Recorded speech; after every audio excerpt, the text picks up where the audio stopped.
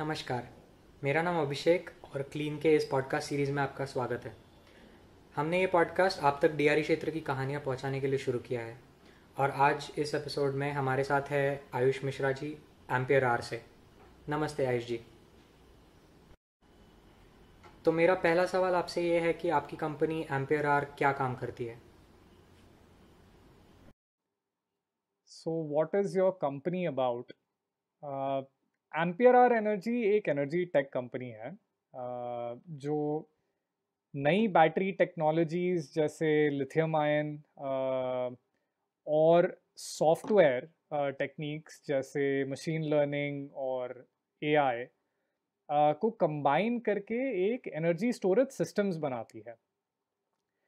हमारे systems kilowatt scale से शुरू होते हैं और मेगावाट स्केल तक बनते हैं। किलोवाट स्केल के सेगमेंट्स में हम रूरल इलेक्ट्रिफिकेशन में काफ़ी काम करते हैं। और मेगावाट स्केल के सेगमेंट्स रिन्यूएबल एनर्जी जैसे कि सोलर या विंड को ग्रिड में इंटीग्रेट करने के काम आते हैं। आपकी कंपनी की शुरुआत कैसे हुई? और आ, आपकी कंपनी क्यों शुरू की गई थी? How did your company start तो हमारी कंपनी की शुरुआत हुई थी 2017 में। आ, मैं और मेरे दो कॉलीग्स उस समय एक सोलर कंपनी में काम करते थे।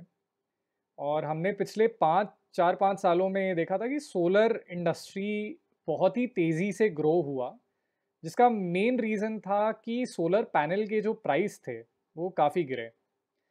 आ, 2017 में हमें ये यकीन था कि लिथियम आयन बैटरी के प्राइसेस भी उसी तेज़ी से जैसे सोलर पैनल के प्राइस गिरे थे, वैसे ही गिरेंगे। और इसका जो इम्पैक्ट है, वो कई सेक्टर्स में दिखाई देगा, जैसे कि रूरल इलेक्ट्रिफिकेशन, ग्रिड का डीकार्बनाइजेशन और इलेक्ट्रिक व्हीकल्स।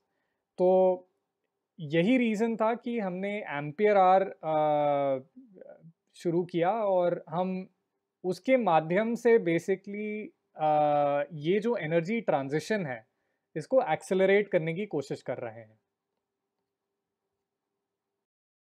uh, क्या आप हमें अपने इतने सालों के तजुर्बे में देखी हुई कुछ सफलता की कहानियाँ बता सकते हैं?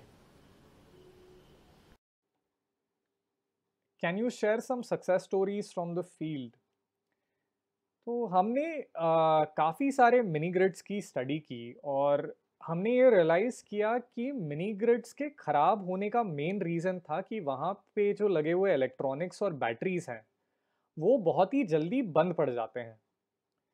आ, अब इसका मेन रीज़न है कि ये जो इलेक्ट्रॉनिक्स और बैटरीज़ हैं ये गाँव के हार्श एनवायरनमेंट में चलने के लिए नहीं बने थे। आ, इस प्रॉब्लम को सॉल्व करने के लिए हमने एक plug in play energy storage system बनाया जिसका नाम रखा ग्रिडलॉक और ये सिस्टम हम पायलट कर रहे हैं बिहार में। अब ये सिस्टम दो तरफा एडवांटेज देता है। एक, ये बहुत ही long life lithium ion system है, जो कि तकरीबन 10 साल चलता है। वर्सेस जो कन्वेंशनल लेड एसिड सिस्टम्स थे, वहाँ पे आपको तीन या चार साल में बैटरी बदलनी पड़ती है। अब इसका एडवांटेज ये है कि ये मिनी ग्रिड का जो कॉस्ट इकोनॉमिक्स है वो तकरीबन 15 परसेंट से बेटर कर देता है। सेकेंड एडवांटेज ये सिस्टम का ये रहा कि ये मिनी ग्रिड के ऑपरेशंस को कई हद तक ऑटोमेट कर देता है। तो यहाँ पे आ, आपको कोई भी मैन्युअली इक्विपमेंट को स्विच ऑन स्विच ऑफ़ करने की ज़रूरत नहीं पड़ती। और जैसे जैसे आपके पास और डेटा जनरेट होता है फ्रॉम इन्वर्टर या बैटरी या लोड साइड का तो आप अपनी एल्गोरिदम्स को और बेटर कर सकते हैं जिसकी वजह से आप अपने ऑपरेशंस को फर्दर ऑप्टिमाइज कर सकते हैं।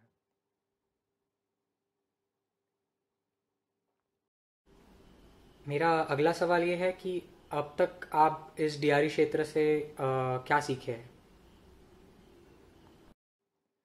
What are your learnings from the field हमने पिछले कई सालों में ये तो देखा है कि इलेक्ट्रिसिटी ग्रिड काफ़ी हद तक रूरल पॉकेट्स में अब पहुँच गया है या अगले कुछ सालों में पहुँच जाएगा। अब सबसे बड़ी प्रॉब्लम है कि पावर क्वालिटी और रिलायबिलिटी अभी भी काफ़ी ख़राब है और रूरल पॉकेट्स में तो बहुत ही ख़राब है। तो हम ये मानते हैं कि इस प्रॉब्लम को सॉल्व करने के लिए एडवांस्ड एनर्जी स्टोरेज और एआई बहुत ही क्रिटिकल होंगे। मेरा आखिरी सवाल आपसे ये है कि भविष्य में आप इस क्षेत्र में क्या परिवर्तन आते हुए देखते हैं